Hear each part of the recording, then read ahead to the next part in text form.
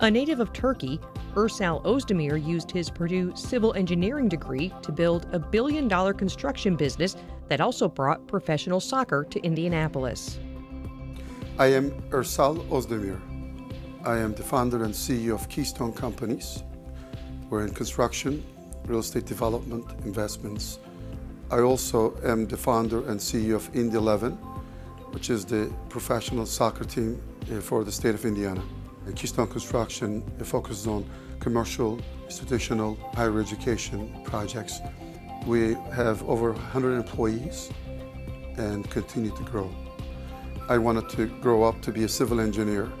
I wanted to get a great education to help me prepare for construction and real estate business after graduating. Purdue was and is ranked one of the best engineering schools in the world. Being a Purdue engineer helps you to solve problems. I believe that has helped significantly to help us to start different businesses and to tackle those issues that come every day, as well as help us to grow, to create jobs in Indiana, and as well as to help us bring new ideas, new developments. As we continue to grow, gives us a great leap to able to do more things in the state, um, such as ability to bring a professional soccer team in Indiana Purdue Engineering provided me a strong foundation to be successful in life.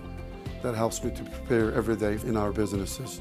It allowed me to think outside the box, solve problems, and prepare me for future.